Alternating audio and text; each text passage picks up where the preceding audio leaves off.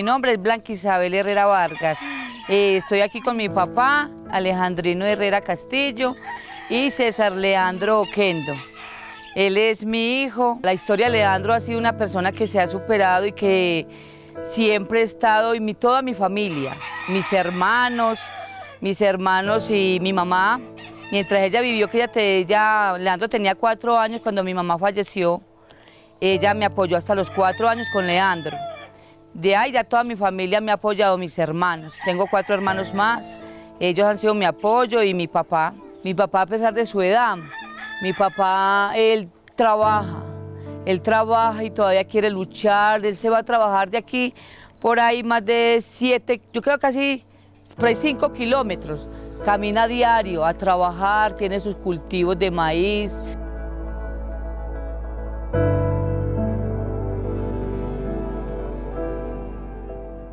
Mi embarazo, un embarazo fue normal, el parto fue normal, fue todo muy bien. Y a los cinco días de nacido, eh, yo, yo trabajaba en Medellín y allá nació Leandro en la clínica general y a los cinco días de nacido le dio una parálisis cerebral, o sea, él se le subió la bilirrubina. Fui, me fui para la clínica. Cuando llegué a la clínica, Leandro, cuando entramos ya había convulsionado. Me dijo el doctor, él, Diosito lo tiene a él para algo porque él murió y volvió, pero puede tener, a él le puede pasar mucho algo en el transcurso de su crecimiento y de su vida. Él puede quedar sordo, ciego, eh, mudo, él no puede caminar. Eh, me dijo cinco síntomas y yo decía, Dios, no sé, ¿qué será cierto? Toda mi familia me apoyó, toda. Él empezó ya el, proceso de saber que gateó a los dos años. Leandro empezó a ir a la guardería. Cuando tenía dos años eh, de edad, empezó a recibirlo a las guarderías con su pañal y ya él emprendió a como a, ir llevando con convivir con los otros niños. Y el diagnóstico de él pues, fue una parálisis cerebral espática, cual no se tuvo droga, no se manejó drogas para él. En la guardería era el niño más pilas, era el más, más fuerte, fue creciendo el estudio, hizo el preescolar, luego ya pasó a, la escuela, nunca le ha dificultado él como decir no camino, que lo complejen, no. Nos ha tocado luchar duro, luego se fue mi mamá, seguimos solos. Ya llegó el tiempo de la pandemia. Yo vivía en el pueblo por el estudio de Leandro y llegó el tiempo de la pandemia y ya no. Mi papá vivía en esta casita que ustedes pueden ver solo. Vine con mi hermana, llevamos seis meses y mi hermana me dice a mí, eh, ya nos podemos ir para el pueblo, ya podemos, como ya hay clases presenciales, pero yo no fui capaz de irme, no fui capaz de dejar a mi papá a su edad, él solo acá, no, no.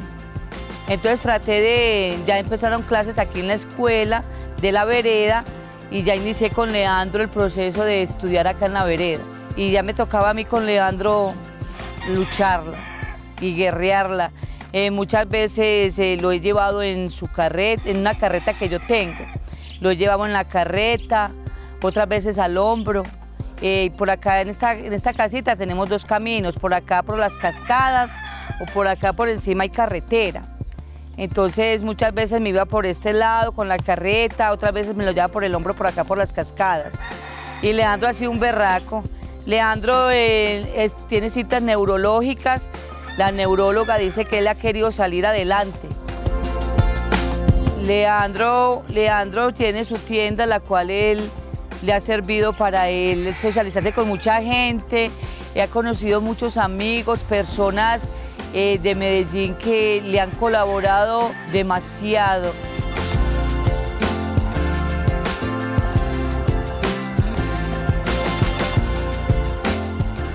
que yo siempre quiero recargar el nombre de las personas. Don Hernán, don Hernán es una persona, es un amigo de Leandro, es una persona que le ha ayudado 100% a Leandro y Juan Pavierna. Juan Pavierna es un joven que ha querido a Leandro, junto con su mamá, eh, doña Diana, que han sido personas que siempre están al pendiente de Leandro y me han ayudado mucho.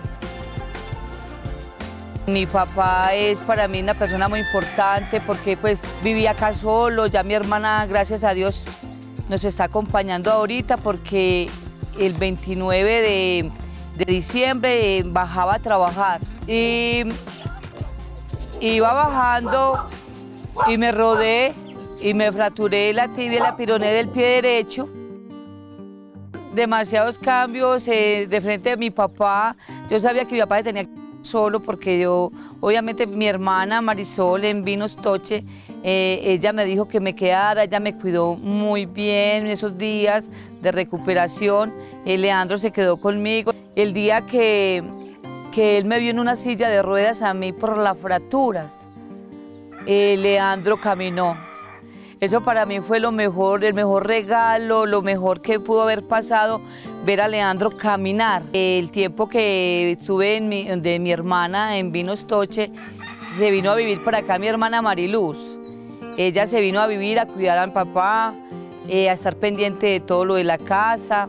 Gracias a Dios he tenido unos hermanos, mi hermano eh, Candilo, eh, John Carlos también y Marisol ha sido para mí hermanos que siempre me han apoyado en todo. En ese momento nunca pensaría volverme a vivir al pueblo ni a la ciudad, porque el campo para nosotros ha sido lo mejor. Leandro aquí tiene su rampa donde hace sus terapias. Vuelvo a, recordarte de, Juan Pavierna y don Hernán. Ellos le dieron un regalo a Leandro el día de su primera comunión. Ellos le regalaron un caballo el cual el caballo para nosotros es tan importante, porque Leandro es el transporte ya para ir a su escuela y es equinoterapia, sus terapias. Ya está en, el grado cuarto, su ilusión de él estudiar, de él llegar a superarse, de él hacer muchas cosas que son sus sueños. Y Leandro, sus sueños es ser un doctor, pero un pediatra para ayudar a todos los niños que tienen enfermos. Él dice que los niños de cáncer, que por eso él, su cabello lo tiene así y lo está dejando crecer y se lo cuida mucho, solo para los niños que tienen cáncer. Padre, un doctor. Y para curar a los niños que tienen cáncer.